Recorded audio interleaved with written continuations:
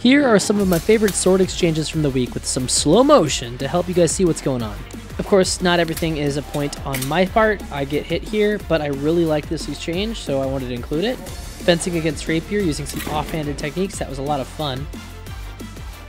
No one got hit in this exchange, it was just kind of really cool, so I put it in here.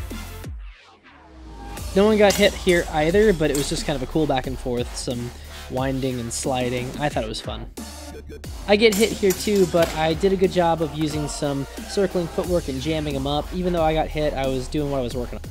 We were working on leg cuts that day and I managed to pull one off. I was proud of myself for incorporating the lesson.